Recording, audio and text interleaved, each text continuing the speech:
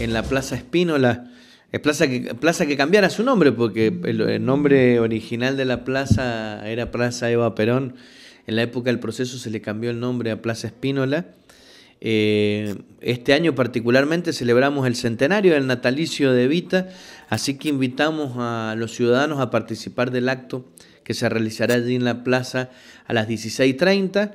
Eh, la verdad que bueno, una, una, fecha muy especial en todo el país se está recordando e independientemente de este acto que vamos a realizar en la Plaza Espinaloa, hemos programado desde el Partido Justicialista varias actividades a las que iremos invitando e iremos informando que se van a realizar durante todo el año. Así que bueno, reiteramos la invitación en la Plaza Espínola el día miércoles, el día martes, perdón, o sea, mañana, eh, a las 16.30 en la Plaza Espínola.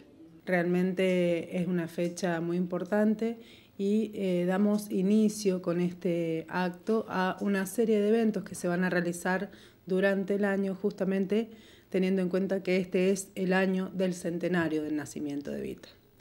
Hemos presentado aquí mismo en el Consejo un proyecto para que eh, se denomine así, 2019 año del centenario del nacimiento de Eva Perón y que se incluya en la papelería oficial y en los documentos digitales eh, el logo de los 100 años.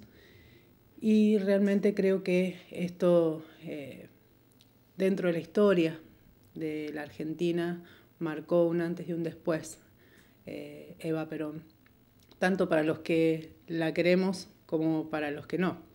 es en la plaza del barrio del pueblo de Amante, la Plaza Espínola, donde está eh, el busto de, Eva Perón, eh, a las 17 horas, a las 16 horas, perdón, del día 7 eh, de mayo.